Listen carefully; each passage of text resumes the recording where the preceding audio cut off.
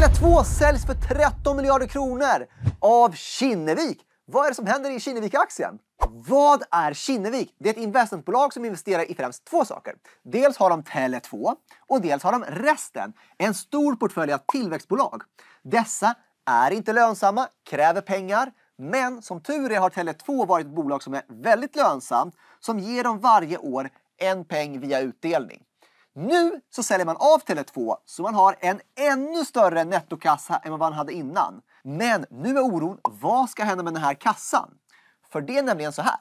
Vi kikar på Kinnevik-aktien, för där ser vi ett mönster. För några år sedan då var det fokus på tillväxtbolag på börsen och det innehöll ju Kinnevik så den gick jättebra. Men sen blev fokus på lönsamma bolag, vinst och det var lite tuffare. Tele2 gjorde ju vinst men det gjorde inte de andra bolagen. Kolla här vad som har hänt. Kinnevik säger att vår aktie är värd 175 kronor per aktie. Det är substansvärdet.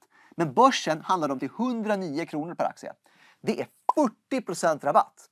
Och den här rabatten kommer ifrån att börsen helt enkelt inte litar på Kinneviks ledning. De tycker att de här tillväxtbolagen, tror vi på dem, tror vi inte på dem? De är säkert värda kanske mindre. De gör inte vinst. Kommer de någonsin göra vinst? De här frågetecknen pressar ner aktien. Nu har de också en nettokassa som är gigantisk. Så frågan är, vad händer med den? Kommer de ta pengarna och plöja in det i nuvarande portföljen? Kommer de köpa nya tillväxtbolag? Eller kommer de ta pengarna och dela ut det till aktieägarna? Det är det alla undrar och det återstår att se vad faktiskt Kinnevik gör. För att hålla koll på sånt och annat, följ oss Nordnet Sverige så lär du dig grejer som att